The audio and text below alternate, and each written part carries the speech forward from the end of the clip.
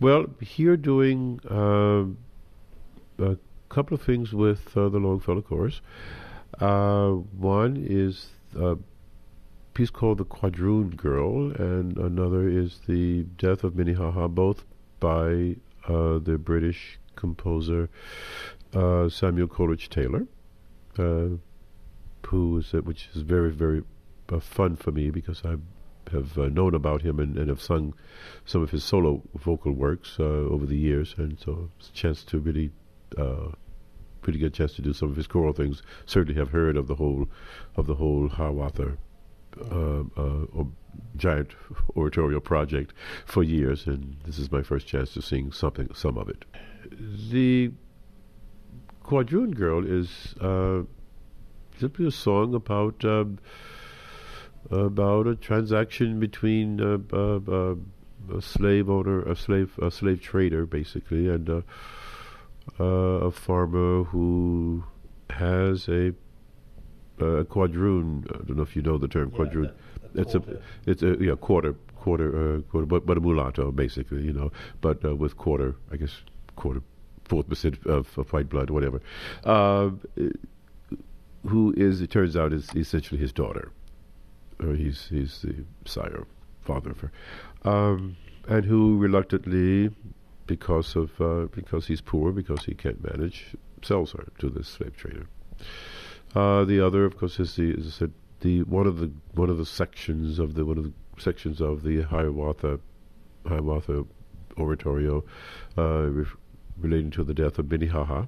Uh, so this is one one chunk of that of that um, oratorio.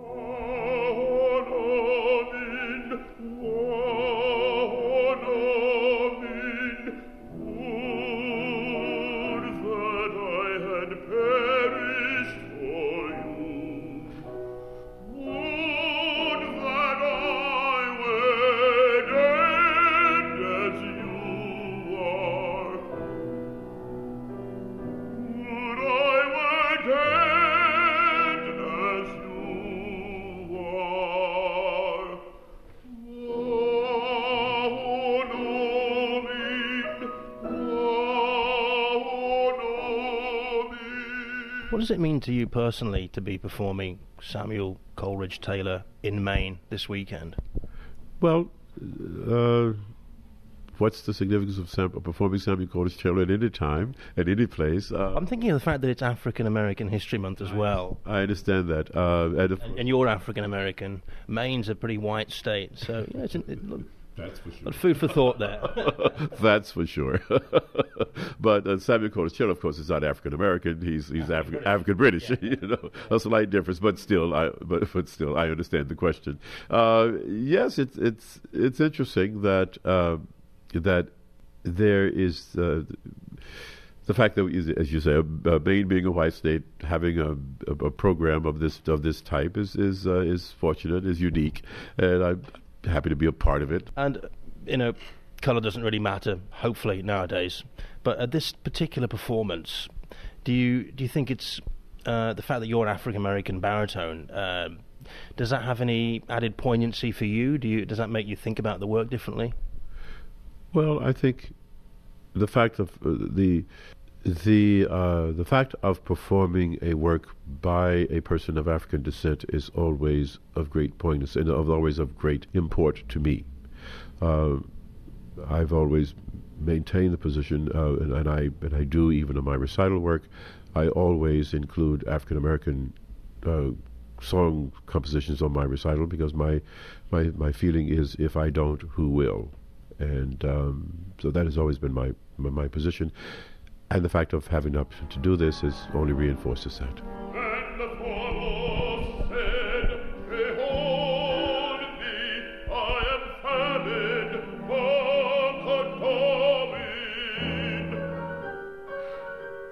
Could you tell us the direction you came from originally to get into opera? Uh, no direction to get me into opera. Did you come via? Were you um, no, no. singing I, gospel? I came. I family tradition. Well, my my father's a minister. Uh-huh. Uh, uh, he ha- had me actually had me singing in church at age six, from age six.